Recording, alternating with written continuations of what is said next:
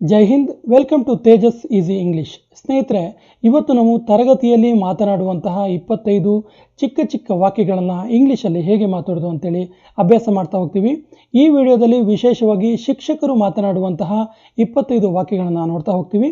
ಮೊದಲ ವಾಕ್ಯ ಈ ರೀತಿ ಇದೆ. ತರಗತಿ ಪ್ರಾರಂಭದ ಸಂದರ್ಭದಲ್ಲಿ ಹೇಳುವಂಥ ಮಾತು, ಎಲ್ಲರಿಗೂ ನಮಸ್ಕಾರ ಎಲ್ಲರಿಗೂ ನಮಸ್ಕಾರ. ಹಲೋ ಎವ್ರಿ ಅಥವಾ ಹಲೋ ಎವ್ರಿಬಡಿ ಅಥವಾ hello students good morning students ಇದನ್ನು ಕೂಡ ಹೇಳ್ಬೋದು. ಇನ್ನು ಎಲ್ಲರಿಗೂ ಶುಭ ಮುಂಜಾನೆ. ಗುಡ್ ಮಾರ್ನಿಂಗ್ ಎವ್ರಿ ಎಲ್ಲರಿಗೂ ಶುಭ ಮುಂಜಾನೆ. ಗುಡ್ ಮಾರ್ನಿಂಗ್ ಎವ್ರಿ ಒನ್ ನೀವೆಲ್ಲ ಹೇಗಿದ್ದೀರಿ?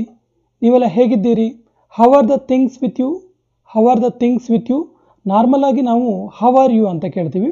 ಎಲ್ಲ ಮಕ್ಕಳಿಗೂ ಕೇಳುವ ಸಂದರ್ಭದಲ್ಲಿ how are the things with you ಈ ಒಂದು ವಾಕ್ಯವನ್ನು ಬಳಸಬಹುದು.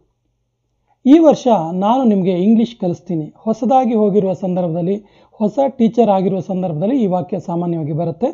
ಈ ವರ್ಷ ನಾನು ನಿಮಗೆ ಇಂಗ್ಲೀಷನ್ನು ಕಲಿಸ್ತೀನಿ. ಅಥವಾ ಎಂಟನೇ ತರಗತಿ ಅಥವಾ ಐದನೇ ತರಗತಿಗೆ ಹೊಸದಾಗಿ ವಿದ್ಯಾರ್ಥಿಗಳು ಬಂದ ಸಂದರ್ಭದಲ್ಲಿ, ಶಿಕ್ಷಕರು ತಮ್ಮನ್ನು ಇಂಟ್ರೊಡ್ಯೂಸ್ ಮಾಡಿಕೊಳ್ಳುವ ಸಂದರ್ಭದಲ್ಲಿ ಈ ವಾಕ್ಯವನ್ನು ಯೂಸ್ ಮಾಡ್ಬೋದು.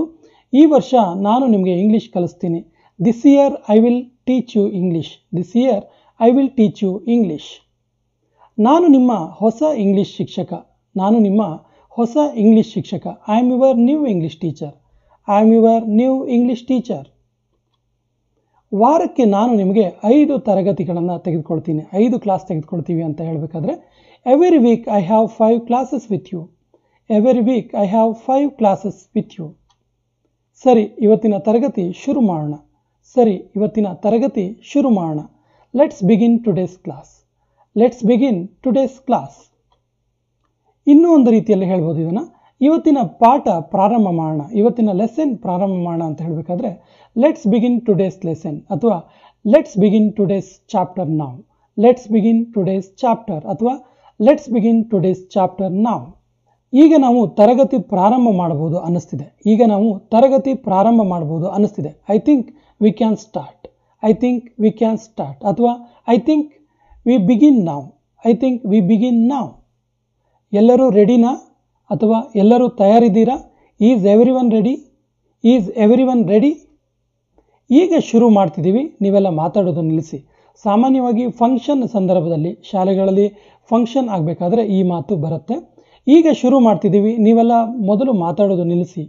We are about to start ನಾವು please stop talking we are about to start ನಾವು ಪ್ಲೀಸ್ ಸ್ಟಾಪ್ ಟಾಕಿಂಗ್ ನೀವು ಸುಮ್ಮನೆ ಇರ್ತೀರಾ ಅಂತ ಕಾಯ್ತಾ ಇದ್ದೀವಿ, ಅಥವಾ ನೀವು ಸುಮ್ಮನೆ ಇರ್ತೀರಾ ಅಂತ ಕಾಯ್ತಾ ಇದ್ದೀನಿ. I am waiting for you to be quiet I am waiting for you to be quiet ಎಲ್ಲಿವರೆಗೆ ನೀವು ಸುಮ್ಮನಿರೋದಿಲ್ವೋ ಅಲ್ಲಿವರೆಗೆ ನಾವು ಶುರು ಮಾಡಲ್ಲ. ಎಲ್ಲಿವರೆಗೆ ನೀವು ಸುಮ್ಮನಿರೋದಿಲ್ವೋ ಅಲ್ಲಿವರೆಗೆ ನಾವು ಕಾರ್ಯಕ್ರಮ ಶುರು ಮಾಡಲ್ಲ ಎನ್ನುವ ಮಾತಿನ ಅರ್ಥ ಇದು. We won't start until every one is quiet we won't start until every one is quiet ಮಾತಾಡೋದನ್ನು ನಿಲ್ಲಿಸಿ ಮತ್ತು ಶಾಂತರಾಗಿ. ಮಾತನಾಡುವುದನ್ನು ನಿಲ್ಲಿಸಿ ಮತ್ತು ಶಾಂತರಾಗಿ.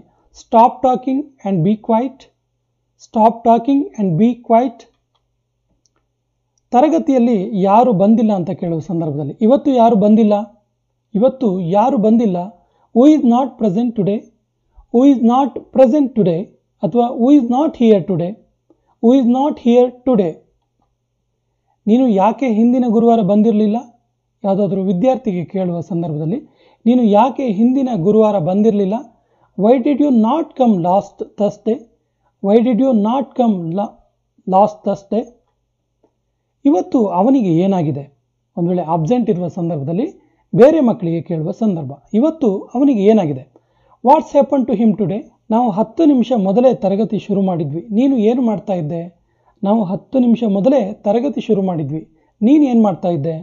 We started ten minutes ago what have you been doing what have you been doing ನೀನು ಎಲ್ಲಿದ್ದೆ? ನೀನು ಎಲ್ಲಿದ್ದೆ?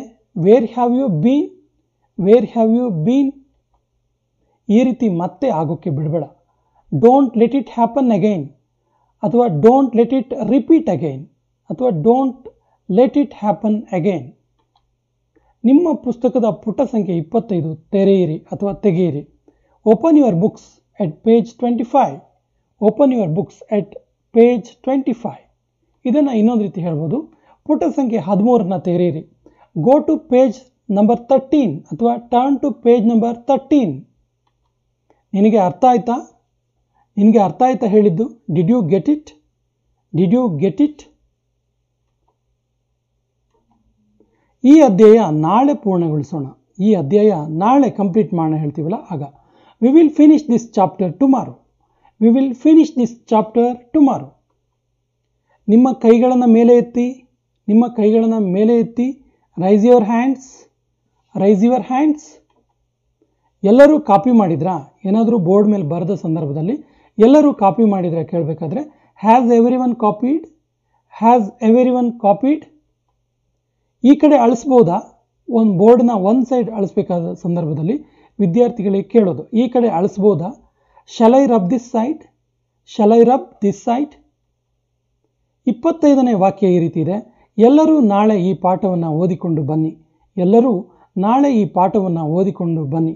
ಈ ವಾಕ್ಯಕ್ಕೆ ಸರಿಯಾದ ಇಂಗ್ಲೀಷ್ ಸೆಂಟೆನ್ಸನ್ನು ಕಮೆಂಟ್ ಬಾಕ್ಸಲ್ಲಿ ಕಮೆಂಟ್ ಮಾಡಿ. ಮುಂದಿನ ವಿಡಿಯೋದಲ್ಲಿ ಇನ್ನಷ್ಟು ಹೆಚ್ಚಿನ ಇಂಗ್ಲೀಷ್ ವಾಕ್ಯಗಳನ್ನು ಅಭ್ಯಾಸ ಮಾಡೋಣ. ಜೈ ಹಿಂದ್.